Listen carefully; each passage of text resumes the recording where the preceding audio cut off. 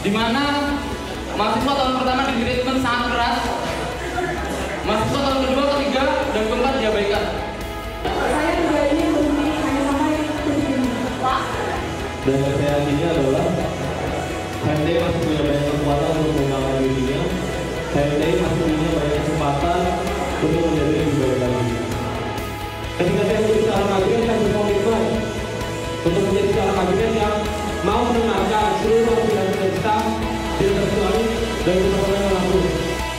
Terima kasih Tuhan telah menempatkan saya masuk ke dalam teknik industri TS. mati dalam pergerakan dan terbuka dalam kenyamanan.